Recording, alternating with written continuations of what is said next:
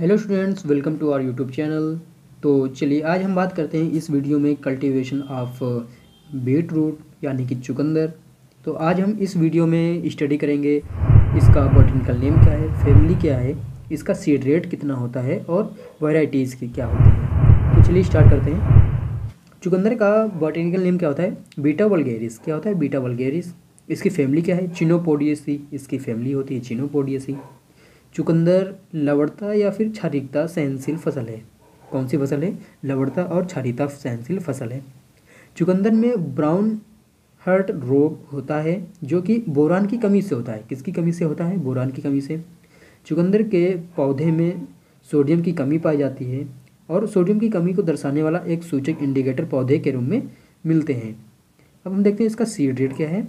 दस से बारह किलोग्राम प्रति हेक्टेयर दस से बारह किलोग्राम प्रति हेक्टेयर आगे दे रखी varieties very important varieties of beetroot यानी कि चुकंदर की, जो किस्में हैं वेराइटीज़ हैं crimson globe golden beet Detroit dark red ruby queen तो स्टूडेंट्स यूपी कैडेट की प्रिपरेशन के लिए ये इतने क्वेश्चन वेरी इंपॉर्टेंट है, क्योंकि कल्टीवेशन ऑफ़ बीट रूट से यूपी कैडेट में ज़्यादा क्वेश्चंस नहीं आते हैं।